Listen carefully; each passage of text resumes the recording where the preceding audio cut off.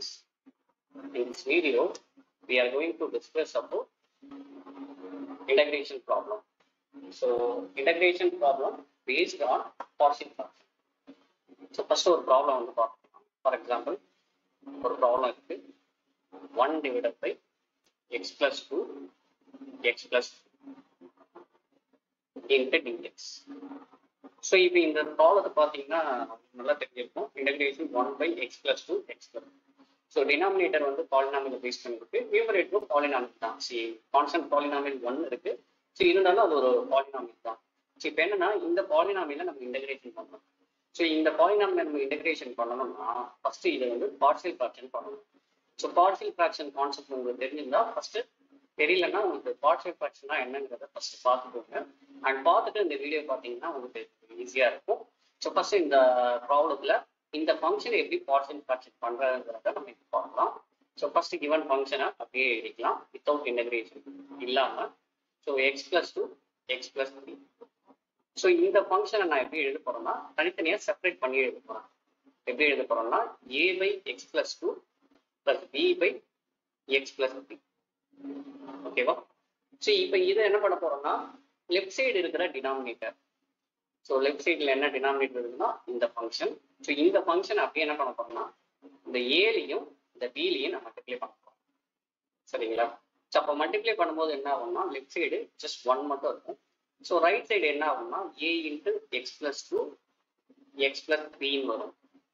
So already ஏவோட டினாமினேட்ல X plus two இருக்கு. ஸோ அதையும் நம்ம எடுத்துக்கலாம். அடுத்து பியோட மல்டிப்ளை பண்ணும்போது என்ன ஆகும்னா B into X plus two X plus த்ரீன்னு வரும். அண்ட் வியோட டினாமினேட்டர்ல என்ன இருக்குன்னா எக்ஸ் பிளஸ் த்ரீ இருக்கு. ஸோ இப்போ இதில் என்னென்னலாம் கேன்சல் பண்ண முடியுமோ அதெல்லாம் கேன்சல் பண்ணிக்கலாம். ஃபார் எக்ஸாம்பிள் ஃபர்ஸ்ட் ஒன்ல என்ன காமனாக இருக்குன்னா எக்ஸ் பிளஸ் டூ இருக்கு. ஸோ எக்ஸ் பிளஸ் தான் கேன்சல் பண்ணிக்கலாம். அதே மாதிரி செகண்ட் ஒன்ல எக்ஸ் பிளஸ் த்ரீ இருக்கு. ஸோ அதையும் நம்ம கேன்சல் பண்ணிக்கலாம். ஸோ ரிமைனிங் இருக்கிறத அப்படியே நோட் பண்ணிக்கலாம். So one equal to A into X plus three plus B into X plus two so இதை வந்து நம்ம ஈக்குவேஷன் ஒன்னா வந்து நம்ம வச்சுக்கலாம். ஓகேவா ஸோ இப்போ நம்மளோட ஏம் என்னன்னா ஏபியோட வேல்யூ வந்து ஃபைண்ட் அவுட் பண்ணிட்டு இந்த ஈக்குவேஷன்ல நம்ம சப்ஸ்டியூட் பண்ணோம் ஸோ ஒன்ஸ் நம்ம சப்ஸ்டியூட் பண்ணோம்னா ஸோ இந்த வேல்யூவை நம்ம பார்சியல் ஃப்ராக்ஷன் பண்ணிக்கலாம்.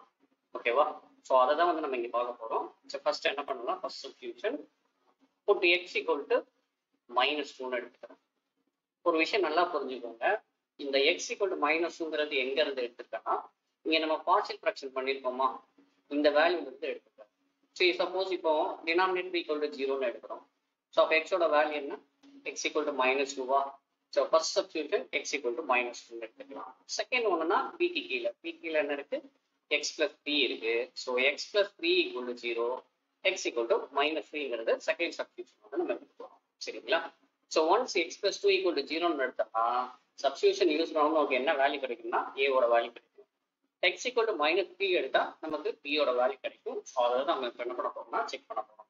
ஸோ ஃபர்ஸ்ட் நம்ம என்ன பண்ணிக்கலாம்? X equal to minus two equation ஒன்ல வந்து சப்ஸ்டிட் பண்ணலாம். So equation ஒன்னுங்கிறது one so A into so X பிளேஸ்ல மைனஸ் டூவை ரீப்ளேஸ் பண்ணிக்கிறேன். Plus three plus B into actually X plus டூங்கிறது ஜீரோவாக நான் எடுத்திருக்கேன். ஸோ அதுலேருந்து தான் எக்ஸ் மைனஸ் டூ கிடைச்சிருக்கு.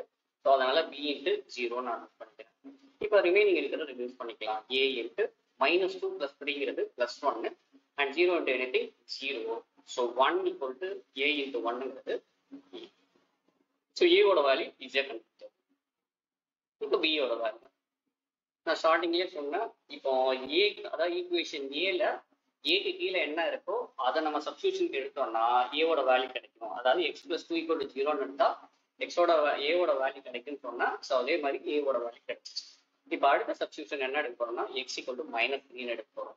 ஸோ இதே ஈக்குவேஷன் ஒன்ல வந்து சப்ஸ்டியூட் பண்ண போறோம். ஸோ ஒன்ல சப்ஸ்டியூட் பண்ணும்போது என்ன ஆகுதுன்னு பாருங்க. One equal to A into minus three plus three plus B into minus three plus so அப்போ என்ன ஆகுது? ஃபர்ஸ்ட் ஒன் வந்து ஏ இன்ட்டு ஜீரோ ஆகுது.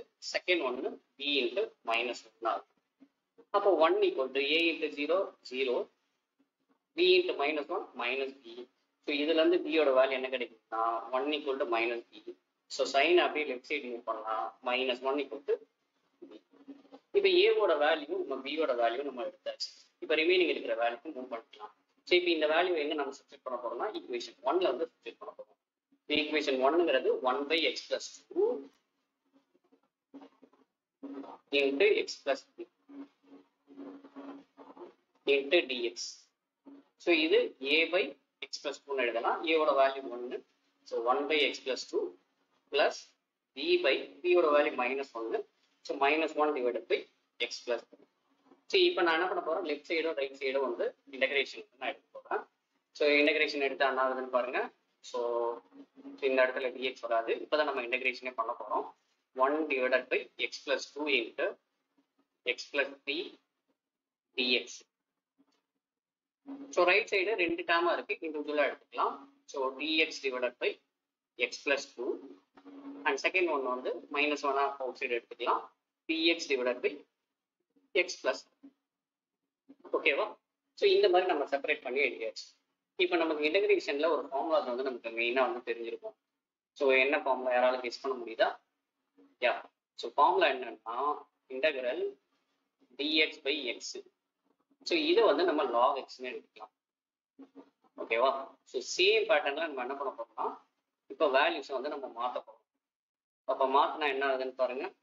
ஸோ ஃபர்ஸ்ட் ஒன்ல லாக் ஆஃப் எக்ஸ் பிளஸ் டூன்னு எழுதிக்கலாம் அண்ட் செகண்ட் ஒன்னு minus log of X plus த்ரீன்னு எழுதிக்கலாம் ஸோ எப்பவுமே இன்டகிரேஷன் பண்ணால் ஒரு சி ஸோ ஒரு சி இப்போ லாக் ஏ மைனஸ் லாக் பின்னா நமக்கு ஃபார்முலா தெரியும். Log A by B so same பேட்டர்ல நான் என்ன பண்ணிக்கிறேன்? Log X plus two X plus த்ரீன்னு எழுதிக்கிறேன். ப்ளஸ் அடிஷனலாக ஒரு சி ஓகேவா ஸோ தேங்க்யூ ஆல்